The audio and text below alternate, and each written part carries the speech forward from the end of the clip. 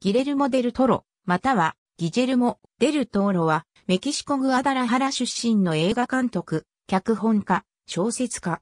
2017年のシェイプ・オブ・ウォーターでアカデミー作品賞、アカデミー監督賞を受賞した。クロノス撮影時のデルトロとロンパールマン父、フェデリコ・デルトロトレス、母、グアダルーペ・ゴメスの息子として、メキシコのハリスコ州グアダラハラに生まれる。10代の初めから映画に興味を持ち、エクソシストの特殊メイクを手掛けたディック・スミスに直接手紙を送っている。メキシコ国立自治大学附属映画学校で学んだ後にスミスの下で学び、メキシコに帰国後特殊メイク、造形の会社を立ち上げ10年以上特殊メイクに関わった。29歳の時からは本格的に映画監督にも乗り出す。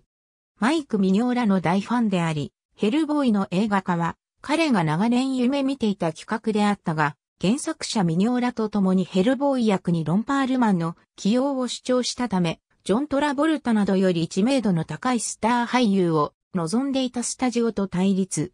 説得に7年を要し、制作費を大幅に削減されたが、デルトロは、それでも、論抜きでは考えられなかったと語っている。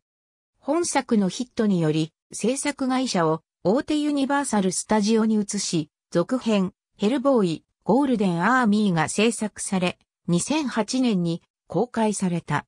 また、ヘルボーイ準備期間中だった2001年、ヘルボーイ映画化へ向けての実験を兼ね、同じくコミック原作のアクション映画である、ブレード2の監督を引き受け、マイク・ミニョーラを美術監修に招いてのプラハロケを敢行。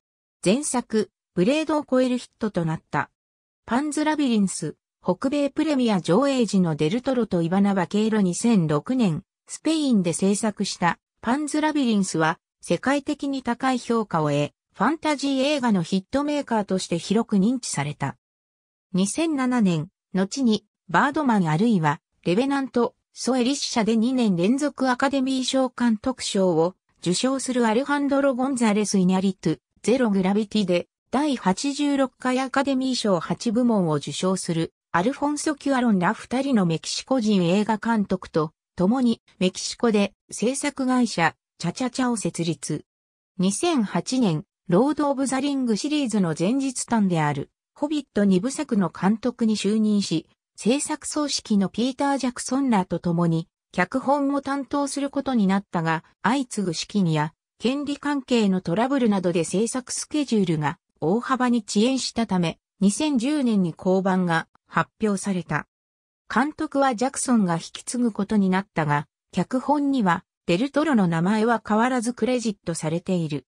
2009年には、チャック・ホーガンとの共著で、初の小説、ザ・ストレインを発表。なお、この小説のオーディオブック版では、ロンパールマンによる朗読を聞くことができる。2014年からは同作に基づくドラマシリーズ、ストレイン沈黙のエクリプスの制作、制作総指揮、一部のエピソードの脚本並びに監督を務めている。2017年のシェイプ・オブ・ウォーターでは監督を務め、第75回ゴールデングローブ賞の監督賞及び第90回アカデミー賞の監督賞を受賞した。第68回カンネ国際映画祭でのデルトロ、尊敬する人物に、押井守を挙げており、うるせえ奴らオンリーユー、天使の卵から全映画を見ている。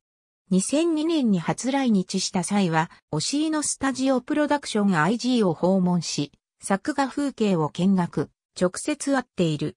CG への転換期にもかかわらず一生懸命手書きで作画する姿に影響を受けたと語っている。